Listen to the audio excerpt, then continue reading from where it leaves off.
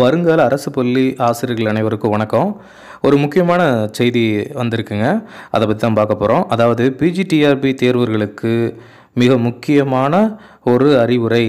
PGTRB எழுதக்கூடிய எழுத செல்லக்கூடியவர்கள் கவனத்திற்கு அப்படின்னு ஒரு அறிவிப்பு வெளியாக இருக்குது அதாவது தேர்வர்கள் ரெண்டு ஹால் டிக்கெட்டுகளையும் டவுன்லோட் செய்துக்கணுமா? அதாவது ஒன்று மாவட்ட ஹால் டிக்கெட் அதாவது டிஸ்ட்ரிக்ட் ஹால் டிக்கெட் இதான் ஃபஸ்ட்டு வந்துச்சு. மற்றொன்று தேர்வு கூட ஹால் டிக்கெட் அதாவது உங்களுடைய எந்த சென்டர் அப்படிங்கிறதுக்கான ஹால் டிக்கெட் ஸோ நீங்கள் வந்து ரெண்டையுமே டவுன்லோட் பண்ணி வச்சுக்கணுமா? ரெண்டையுமே கூட கொண்டுட்டு போகணுமா? அதாவது முதல் முதலாக உங்களுக்கு வந்து எந்த டிஸ்ட்ரிக் அப்படின்னு பார்த்துருப்பீங்க. ஸோ டிஸ்ட்ரிக் அட்மிட் கார்டு அந்த ஹால் டிக்கெட்டும் அதே மாதிரி நீங்கள் உங்களுக்கு எந்த சென்டர்னு அனௌன்ஸ் பண்ணியிருப்பாங்களே எக்ஸாமுக்கு முன்னாடி. ஸோ அந்த ஹால் டிக்கெட்டையும் நீங்கள் ரெண்டு ஹால் டிக்கெட்டையும் எடுத்துகிட்டு போகணுமா? அதே போல் தங்களுக்கு உரிய தேர்வு நாளன்று தேர்வு நேரத்திற்கு ஒன்றரை மணி நேரம் முன்பாக சென்றுவிடணும். அதே போல் முக்கால் மணி நேரத்திற்கு முன்பாக கேட்டு மூடப்படும். அதன் பிறகு வருபவர்களுக்கு அனுமதி கிடையாது அப்படின்னு சொல்லியிருக்காங்க. அப்போ நீங்கள் மார்னிங் உங்களுக்கு எக்ஸாம் இருந்தாலும் உங்கள் எக்ஸாம் ஸ்டார்டிங்லேருந்து ஒன்றரை மணி நேரத்துக்கு முன்னாடி போயிடணும் அதே மாதிரி உங்களுக்கு ஆஃப்டர்நூன் எக்ஸாம் இருந்தாலும் உங்கள் எக்ஸாம்லேருந்து ஒன்றரை மணி நேரத்துக்கு முன்னாடி போயிடணும் எக்காரணத்தை கொண்டும் தேர்வு மையம் மாற்றத்திற்கு உரியது அ, கிடையாதுங்களாம் ஸோ உங்களுக்கு எந்த எக்ஸாம் சென்டர் போட்டிருக்காங்களோ அதுதாங்களாம் அதே போல் ஹால் டிக்கெட் இல்லாமல் வருவங்களுக்கு கட்டாயம் தேர்வு அனுமதி இல்லை.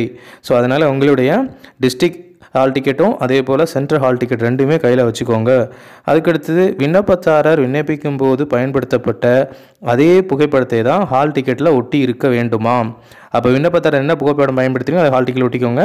அது மட்டும் இல்லாமல் புகைப்படத்திற்கு கீழே உங்களுடைய கையெழுத்து வந்து நீங்கள் அங்கே போட்டக்கூடாதான் அதாவது நீங்கள் என்ன பண்ணோம் அப்படின்னா நீங்கள் தேர்வு அறைக்கு தேர்வு கூடத்திற்கு சென்று கையொப்பமிட வேண்டுமே தவிர இங்கேயே நீங்கள் கையொப்பம் இடக்கூடாதான் அதாவது உங்கள் புகைப்படத்தில் சிக்னேச்சர் போடுங்கன்னு இருக்கும். ஸோ அந்த கையெழுத்தை வந்து நீங்கள் உங்களுடைய தேர்வு அறைக்கு சென்று உங்களுடைய இன்விஜிலேட்டர் முன்னாடி தான் கையெழுத்து போடணுமா?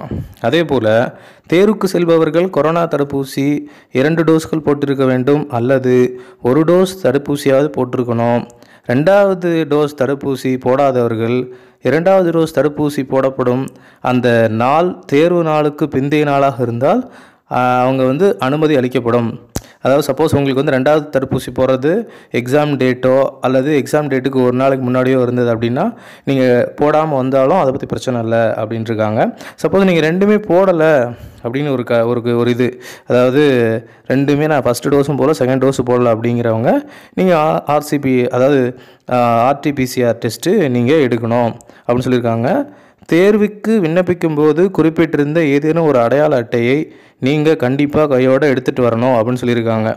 அதாவது நீங்கள் தேர்வுக்கு விண்ணப்பிக்கும் விண்ணப்பிக்கும் போதே சில அடையாள அட்டைகளை குறிப்பிட்டிருப்போம். அதாவது இப்போ பாஸ்போர்ட்டோ அல்லது பேன் கார்டோ அதே போல் ஓட்டுநர் உரிமம் ஆதார் அட்டை இவற்றில் ஏதாவது ஒன்று ஒரிஜினலாக கையோடு கொண்டு போயிடணுமா எந்த ஒரு எலக்ட்ரானிக் சாதனமும் கொண்டு செல்லக்கூடாது. குறிப்பாக செல்ஃபோனோ மைக்ரோஃபோனோ கால்குலேட்டரோ டிஜிட்டல் டைரியோ புத்தகம் இதெல்லாம் எடுத்து செல்ல கண்டிப்பாக அனுமதி இல்லை அப்படிங்கிற மாதிரி சொல்லியிருக்காங்க.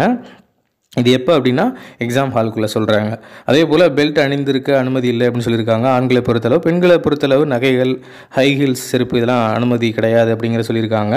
அது மட்டும் இல்லாமல் தேர்வு கூடத்திற்கு அதாவது எக்ஸாம் ஹாலுக்கு ஹால் டிக்கெட் மற்றும் அடையாள அட்டை இதை ரெண்டு மட்டும்தான் எடுத்துகிட்டு போகணும். அதை தவிர வேறு எதுவும் அனுமதி இல்லை அப்படின்னு சொல்லியிருக்காங்க. அதே போல் உங்களுக்கு அந்த பேப்பர் பேனா பென்சில் இது எல்லாமே தேர்வு கூடத்திலேயே உங்களுக்கு தந்துடுவாங்களாம் தேர்வு முடிந்து வெளியே வரும்போது தாங்கள் பெற்ற பேப்பரை நீங்கள் எந்த பேப்பரை வாங்குனீங்களோ என்ன வாங்குனீங்களோ அதெல்லாம் திரும்பவும் அலுவலரிடம் அலுவலர்களிடம் ஒப்படைத்துட்டு தான் வரணுமா? அதே போல் ஹால் டிக்கெட்டை வந்து தேர்வு மையத்தில் தேர்வு எழுத எழுதுபவர் பெற்றுக்குவாங்களாம். அதனால் நீங்கள் கொண்டு போகிற ஹால் டிக்கெட்டு உங்களுக்கு வேணும் உங்களுக்கு ப்ரூஃப் வேணும்னா நீங்களே முன்னாடியே ஒரு ஜெராக்ஸ் எடுத்து வச்சுக்கோங்க அப்படின்னு சொல்லியிருக்காங்க. அதே போல் எல்லாருமே அந்த கொரோனா விதிமுறைகள் சமூக இடைவெளி முகக்கவசம் அணிகிறது இதெல்லாம் கண்டிப்பாக பின்பற்றணும் அப்படிங்கிற மாதிரி சொல்லியிருக்காங்க. இதுதான் தற்பொழுது கிடைத்த ஒரு செய்தி. ஏற்கனவே ஒரு சில அறிவுரைகள் நம்ம சொல்லியிருப்போம். ஸோ ஒருவேளை கேட்காதவங்க இதை நீங்கள் இப்போ கேட்டு இதை நீங்கள் ஃபாலோ பண்ண ஆரம்பிச்சிருங்க.